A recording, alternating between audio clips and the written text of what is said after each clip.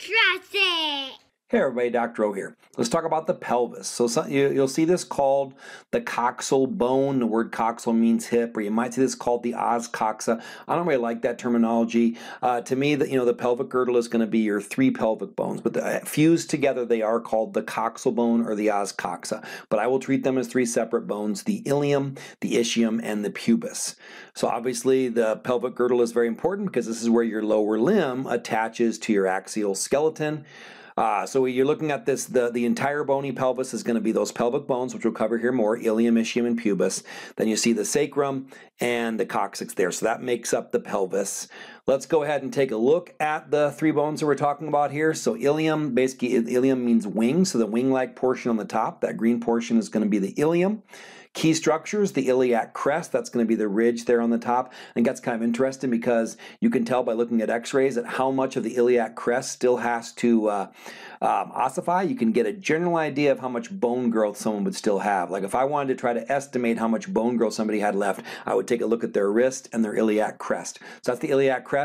Then you have the anterior superior iliac spine, which you can call the ASIS, but just not on, on an identification quiz. I need you to call it the anterior superior iliac spine. You have the anterior inferior iliac spine, or the AIIS, posterior superior iliac spine there on the back, PSIS, and posterior inferior iliac spine, or PIIS. So those are the key features of the ilium, at least to me. Then we have the ischium. To be honest, I call the ischium the butt bone here. Uh, it's the part that you're sitting on right now. And the key structure there is going to be the ischial tuberosity, a very important origin for your hamstring muscles there. That's why it's so rough because all the, the, the pulling from the muscles of the hamstrings have uh, give it that kind of rough looking structure. So that's going to be the ischial tuberosity there on the ischium. That's the orange one. And then lastly, we have the purple structure, the pubis. And the pubis, you have the symphysis pubis, is where the two pubic bones come together. There's a fibrocartilage pad there to keep them from smashing together.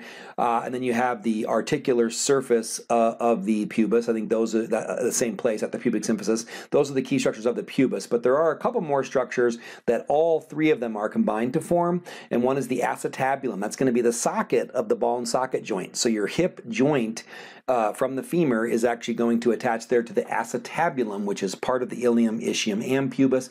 So, and then we have the obturator foramen, which the little lateral rotator muscles of your hip and other important structures travel through that hole, which is made of pubis and the ischium there. So that's the obturator foramen and the acetabulum. So those are all the key structures there of the pelvis. I hope this helps. Have a wonderful day. Be blessed.